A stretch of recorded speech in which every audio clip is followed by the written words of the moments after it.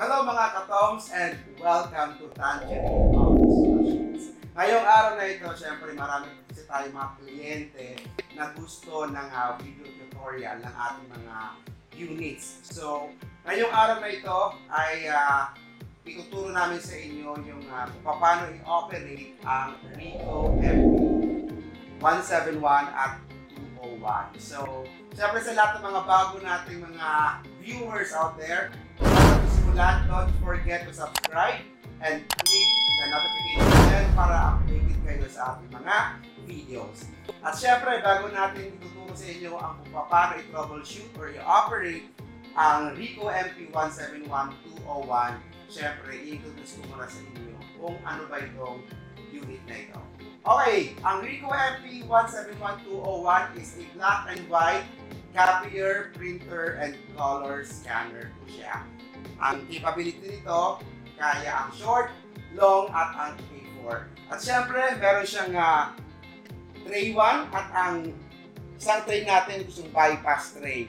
So, ang tray 1 natin, kaya niyang i-load ang 250 sheets at ang ah, bypass tray naman natin na sa gilid, kaya niyang i-load ang 100 sheets na paper. So, meron ditong automatic document feeder kung gusto niyo back at kaya niyang i-handle ang 50 sheets. At syempre, for kung gagamitin ito para sa printing naman, um, kaya niya through uh, LAN or local area network or via USB. At syempre, ang dimensions, 19 inches by 18 inches by 19 inches. So, ayan!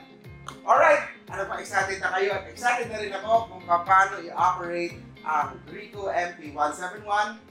Pero hindi ko na patatagalin pa, tatawagin ko na ang ating napakagaling na technician para ituro sa atin kung paano i-operate ang Rico MP171 at 201. Please help me welcome mga Toms, si James! Ayan! So, si James matuturo sa atin kung paano i-operate ang Rico MP171 at kung paano um, yung basic troubleshooting nitong machine na ito.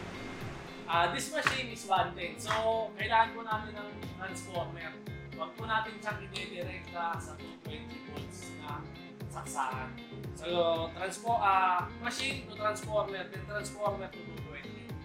So, ang basic operation po niya, main power, dito po sa gilid.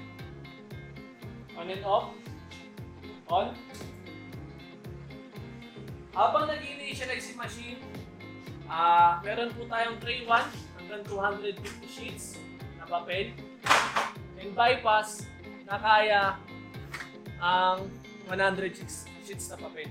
So, flatbed hanggang 8 and a half by 14. O- Automatic document feeder hanggang 50 sheets na papel. So, pwede po siya rito na sa ATF, ah, 8 and a half by 11, A4, and long na papel. So pag nag-open po siya, nakikita po natin, meron po tayong, naka-ready po siya, tray 1. So ibig sabihin po, ang pick up ni papel is sa tray 1. Pag pipiliin po natin si bypass, yung brown arrow, naka 18 by 13 po siya. So ang papel po natin, maglo-load po tayo ng papel. Ang paglo-load ng papel sa bypass, pull up, then lagay si papel.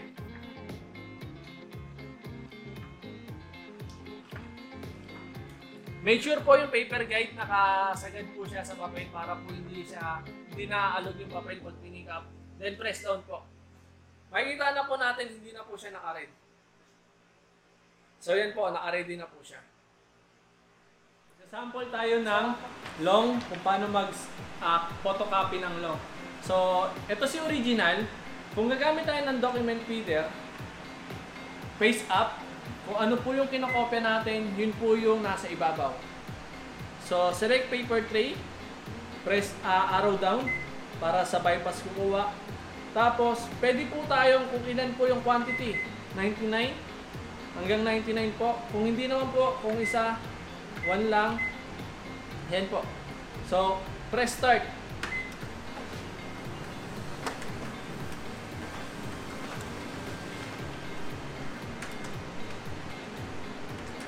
So yun po, lumabas po si output. Ito po si original. Ito po si ito po si original, ito po si copy. So halos parehas po.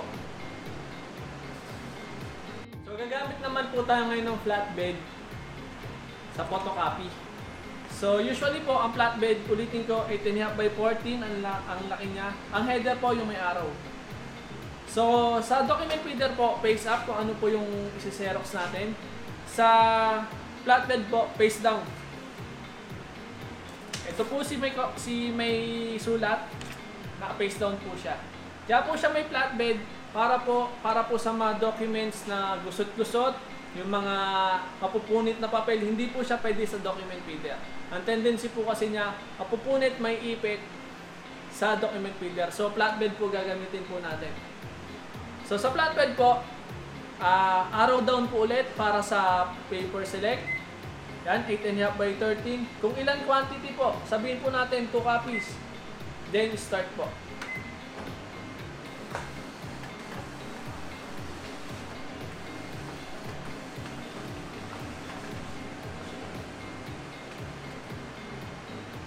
So lumabas po na siya, dalawang kopya. Ito po si output copy, ito po si original. So, gagamit naman tayo ng short na papel sa document reader. So, face up, katulad lang din po ng long. Then start.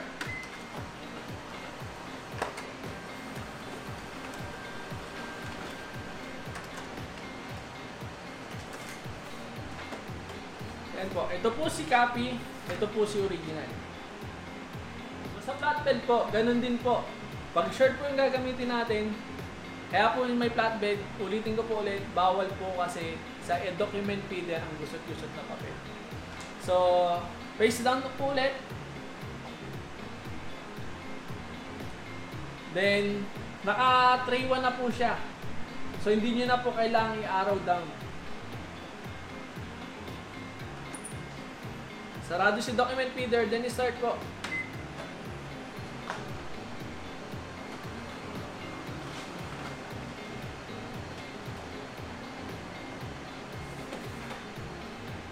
Ito po si copy.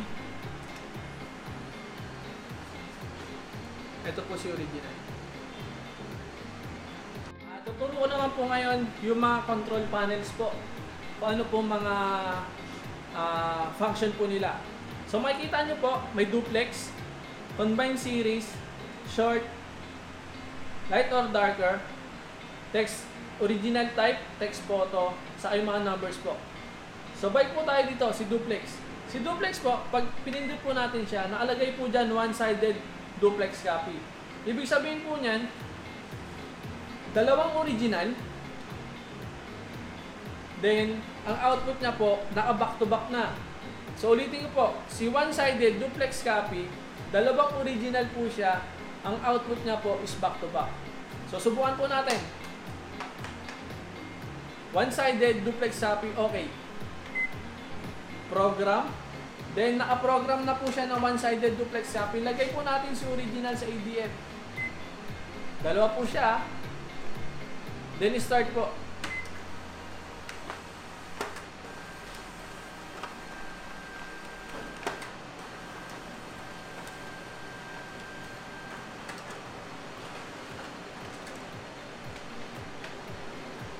Yan, napapansin nyo po, binalik po ni machine si papel. Hindi nyo na po kailangan na kukunin si original at ibabalik nyo po parang po mag back to back. So ito na po siya. Naka back to back na po yung dalawang original natin kanina.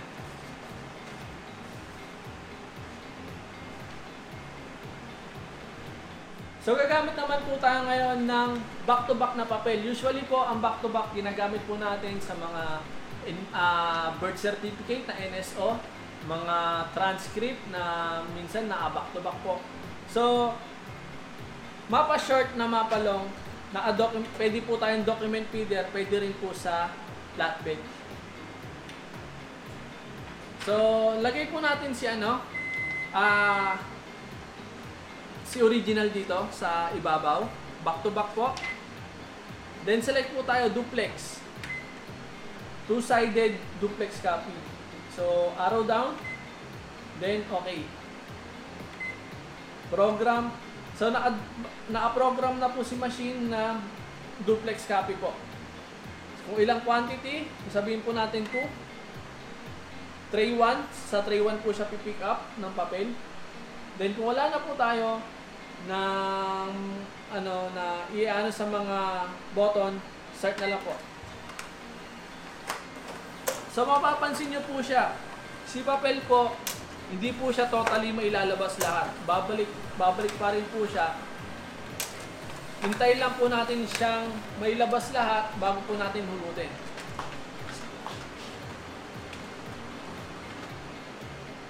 Ganon din po si sa output, ah babalik pa rin po siya ulit para po sa ka- kabilang side. Antayin po natin siya ulit mailabas, huwag po natin basa-basa hulutin.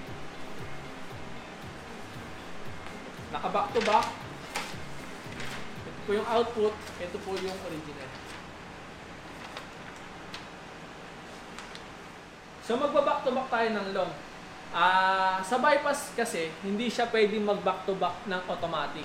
So kailangan natin ah paglabas ng output, ibabalik po natin ulit para mag-back to back siya ng long. So lagay po natin si original sa taas. Face up, then na 8 and a half by 13 bypass tray. Then start.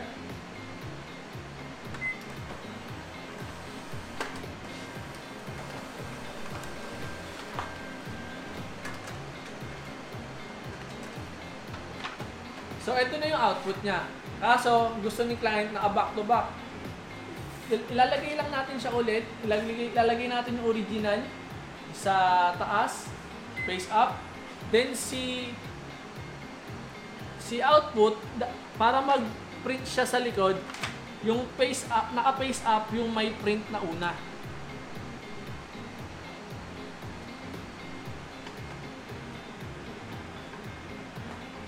Para mag-print siya sa likod, ito yung original, ang magka-open siya dito sa likod ng original. Then, start.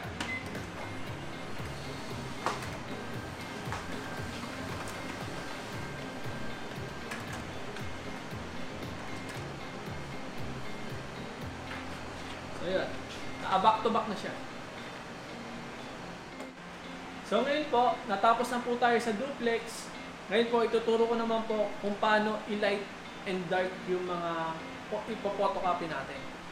So, usually, meron na ah, makikita natin sa panel, meron tayong lighter, darker. Yan po. Kung gusto niyo naman po, katulad po nung kinakopya natin ngayon, more on photo, meron po siyang original type na photo.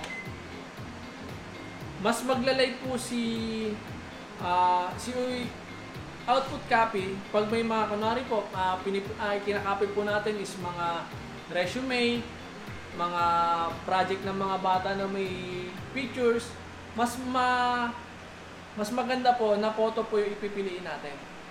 So, su- subukan po natin. Ngayon po nilagay ko sa flatbed, pero pwede rin naman po siya nasa ADF. Subukan lang po natin si flatbed. Naka-photo po tayo. Start po natin.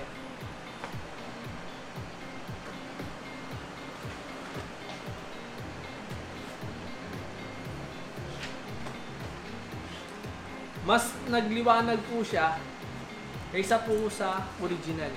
Ito po si original, ito po si output. Yan po yung difference pag nakapoto po. Then, turo ko na rin po kung paano po mag-reduce and large. Reduce and large po, makikita nyo po sa panel, meron po tayong R slash E. Yan po, reduce and large po yan. Usually po, ginagamit po yan pag mga ang nagpapapotocopy po. Kunwari po, ah, si transcript gusto niya sa short lang. Pero si transcript po kasi usually nasa 8.5 by 14 or 8.5 by 13 yung size. So papasok po si reduce. Si reduce po doon. Ayan po.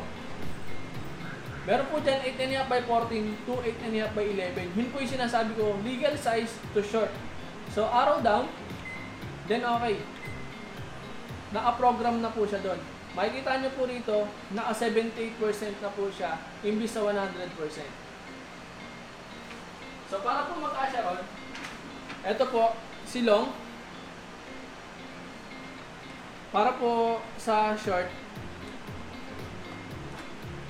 long po yung papel natin, pero pagka-asyahin po natin siya sa short na papel. Then start po.